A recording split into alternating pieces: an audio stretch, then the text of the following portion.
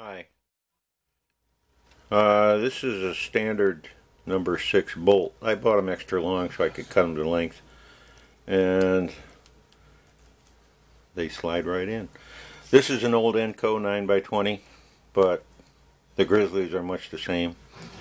Uh, the four bolts I have on this hold down are, were originally these. Anyways, uh, I have to think you got really aggressive tightening down bolts uh, to break out a section.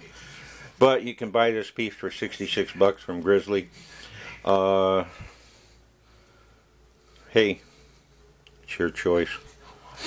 Uh, as far as this goes, this doesn't isn't aligned to any hole in the uh, in the thing like the original compound, uh, so it can go anywhere.